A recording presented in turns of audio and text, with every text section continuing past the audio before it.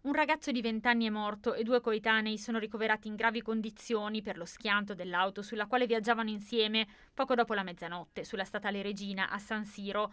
Il giovane alla guida avrebbe perso il controllo del mezzo andando a sbattere contro un muro. Dalle prime informazioni non ci sarebbero altri veicoli coinvolti nell'incidente, anche se la dinamica è ancora al vaglio dei carabinieri della compagnia di menaggio intervenuti per i rilievi. I tre amici, secondo i primi accertamenti, viaggiavano sulla Regina a bordo di una BMW 320 da Adongo verso Menaggio. All'altezza di una curva, all'ingresso dell'abitato di Acquaseria, il conducente della vettura, un ventunenne di Porlezza, avrebbe perso il controllo della macchina per cause ancora da chiarire, andando a sbattere contro alcuni garage a lato strada. Un impatto violentissimo. Ad avere le conseguenze peggiori il ragazzo che era seduto sul sedile posteriore, Mattia Pretti, un ventenne di Gravedone d'Uniti. Per liberarlo dalle lamiere della vettura è stato necessario l'intervento dei vigili del fuoco. Nonostante i soccorsi, però, per il giovane non c'è stato purtroppo nulla da fare. È morto sul colpo nell'impatto. A San Siro sono intervenute l'automedica del 118 e due ambulanze ed è stato chiesto anche l'invio dell'elisoccorso.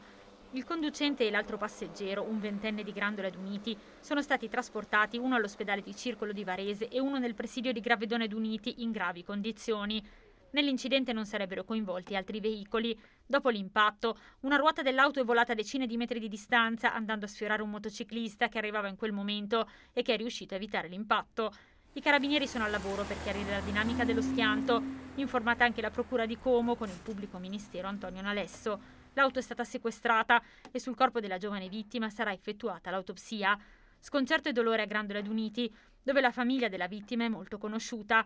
Una gravissima tragedia ha colpito la nostra comunità, scrive il sindaco Giancarlo Zanfanti. La famiglia è distrutta dal dolore, come pure i parenti e l'intera comunità grandolese. Non è facile trovare le parole adatte per infondere coraggio, per consolare i genitori e tutti i parenti e per rasserenare gli animi. In questo momento di dolore immenso mi sento in dovere di esprimere la mia vicinanza e quella di tutto il Consiglio Comunale a mamma Rita, a papà Massimo e al fratello gemello Filippo, nonché agli zii e ai cugini.